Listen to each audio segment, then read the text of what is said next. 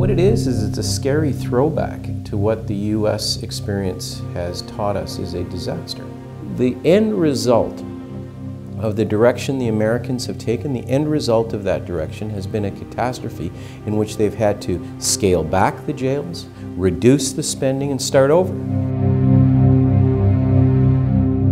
I mean, think about it. 30 years ago, 10% of the general fund went to higher education, and only 3% went to prisons.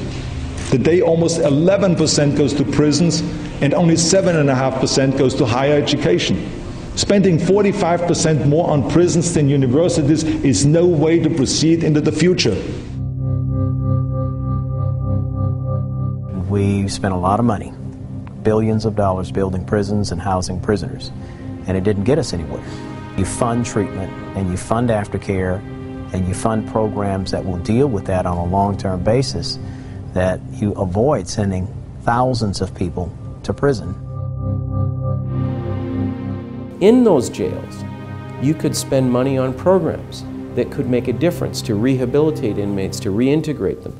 You don't make it an easy time, you make it a constructive time. Harper specifically has decreased the amount of money being spent on programs within the jail system for reasons I can't fathom because our crime rate's actually descending.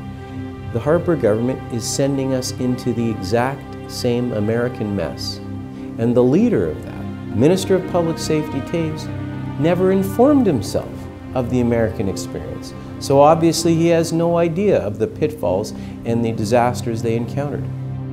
When I come to work, my expectation is I want to go home to my family in the same state that I came to work. Um, and then the end of the day, when I have to do my job, whether I'm there for eight or 12 hours, when I'm dealing with the inmate population, if there's more of them jammed together, there's greater likelihood of conflict. So if there's going to be more of them shoved into the box or overcrowded, that's my biggest concern. When you ask me about what is the solution to the problem, a solution is to remove this government because there is no other way you're going to see this particular formula abandoned.